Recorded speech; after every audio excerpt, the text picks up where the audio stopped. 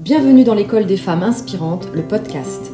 Dans un monde qui bouge, exigeant, challengeant, tout autant que riche, exaltant, apprenant, dans un monde où les femmes ont encore à prendre toute leur place pour s'exprimer à la hauteur de leurs désirs, de leurs compétences, de leurs convictions, où le choix entre vie personnelle et professionnelle est encore la norme, la grande question est celle-ci. Comment mener notre vie de femme-S, unique aux multiples facettes, sans culpabiliser, sans renoncer, sans se sacrifier Comment vivre tous nos projets de vie en alliant plus de bien-être et de réalisation Nous les femmes inspirantes, nous avons choisi de ne pas choisir. Nous sommes des femmes, des mères, des épouses, des amoureuses, des filles, des sœurs, des amies, professionnelles, passionnées, curieuses, souriantes, battantes, vivantes. Nous connaissons des épreuves et des joies intenses. Nous avons écouté et parfois étouffé nos aspirations les plus profondes. Nous voulons vivre libre, authentique, connecté. Nous avons des projets à réaliser, nous voulons contribuer, trouver et agir à notre juste place maintenant. Mon nom est Ida Génari Elichery, bienvenue dans l'école des femmes inspirantes. Bonjour. La période des fêtes vient de s'achever et avec elle, c'est l'eau de contes que nous aimons nous raconter. Je crois aux contes, je crois aux princes et aux princesses. Pourquoi? Parce que comme le dit Vincent Lénart, celui qui a introduit le coaching en France dans les années 80, le prince ou la princesse n'est pas sorti d'un conte de fées, mais est une métaphore de l'être humain potentiellement libre. Alors peut-être avez-vous déjà entendu cela. Elle se prend pour une princesse, ne fais pas ta princesse, et princesse, t'es pas une princesse. Comment entendez-vous ces exclamations? Pas très positivement probablement. Et s'il en était tout autrement? Et si nous n'avions pas compris? Et si nous étions tous des princes et des princesses? Que nous disent les contes? Cendrillon, les grenouilles, les Blanches-Neiges et Belle au bois dormant, les Reines des Neiges et autres princesses des temps anciens et modernes. Nous pourrons revoir les films et aussi lire et ou relire Butterheim et sa magnifique psychanalyse des contes de fées.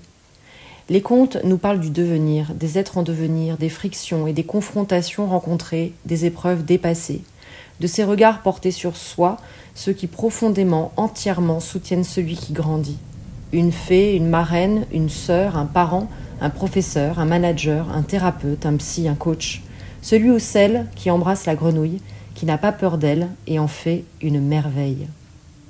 Et si nous devions tous des princes et des princesses?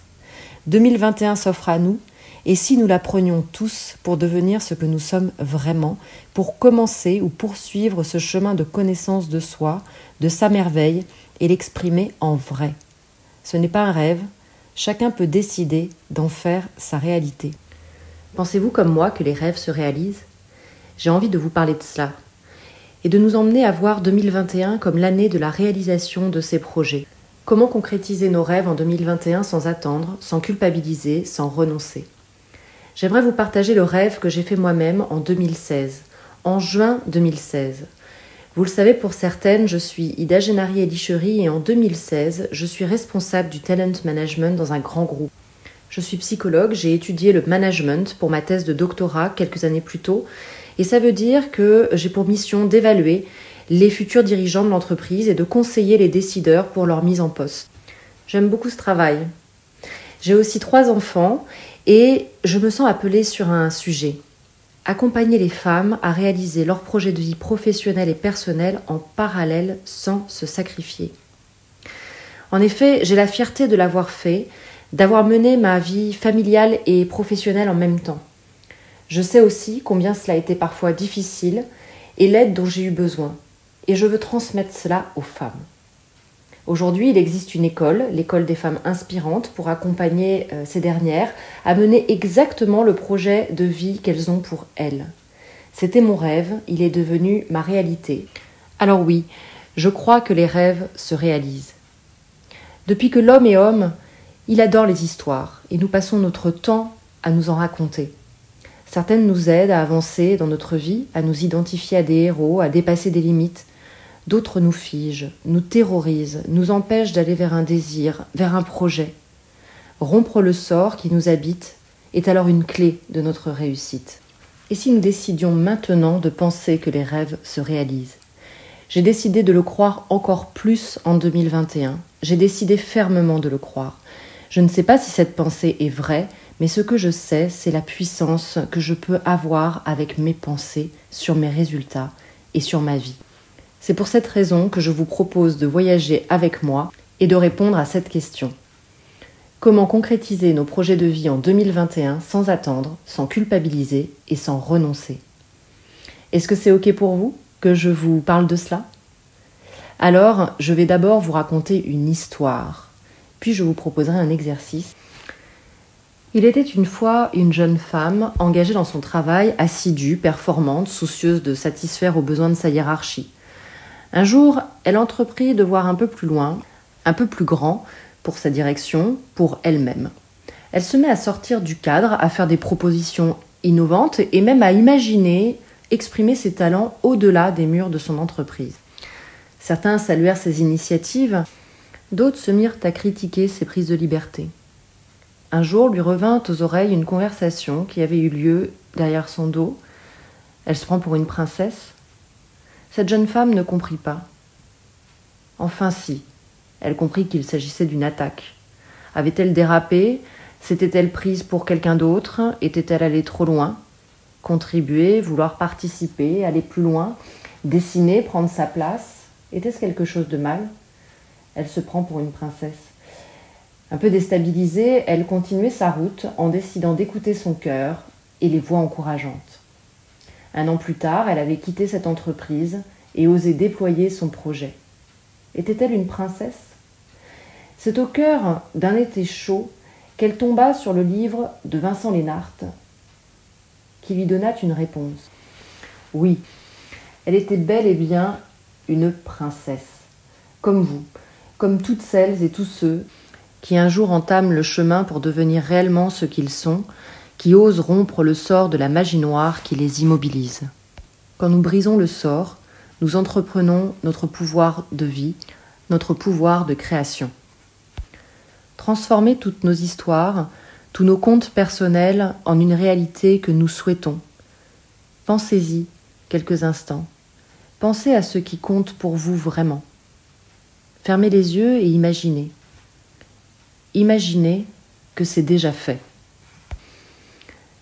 Imaginez-vous dans un an. Qu'aimeriez-vous pouvoir dire à la fin de l'année 2021 Qu'aimeriez-vous avoir réalisé? Quelles étapes aimeriez-vous avoir franchies? Vous pouvez le noter sur un cahier, une feuille. Quelle serait la première chose à faire pour le réaliser? Et ressentez maintenant ce qui se passe en vous. Comment vous vous sentez à cette idée? Comment vous envisagez cette première étape? Vous pouvez faire cet exercice. Fermez les yeux et vous posez ces questions. La clé de la réalisation de vos projets réside aussi dans ce que j'appelle la posture rock. Rock avec un K. Le rock d'abord pour sa solidité, son ancrage, sa force et sa stabilité. Et le rock pour aussi le mouvement, la pirouette programmée, le fun, le risque. Il s'agit de se sentir prête à ancrer son projet dans la réalité en assumant sa responsabilité pour le R, l'ouverture pour le O et la coopération pour le C. Il s'agit d'être prête à ce que les choses bougent, changent, se transforment, nous bousculent. Le développement de cette posture s'apprend, tout comme un certain nombre de compétences qui permettent de réaliser des projets et d'obtenir des résultats en alliant plus de bien-être et de réalisation. On n'apprend pas ça à l'école, pas vraiment. C'est pour cette raison que j'ai créé l'école des femmes inspirantes pour ces femmes uniques aux multiples facettes qui souhaitent réaliser leur projet de vie professionnel et personnel sans culpabiliser, sans renoncer, sans attendre et sans se sacrifier. C'est une aventure formidable entre femmes, du soutien, de l'apprentissage. Je suis vraiment excitée de vous en parler et de présenter cette école des femmes avec un clin d'œil à Molière évidemment. C'était mon rêve, que les femmes puissent vivre la vie qu'elles se choisissent. Alors, avant de nous quitter, rappelons-nous cette histoire, cette histoire que nous a racontée Molière. Dans la pièce L'école des femmes, Arnolphe, le futur époux d'Agnès, tente de l'enfermer et de la maintenir sous surveillance afin de la garder ignorante et conforme à son idéal de femme. Ce système de surveillance, qu'il nomme protection, est de suite compris par Horace, l'amoureux d'Agnès.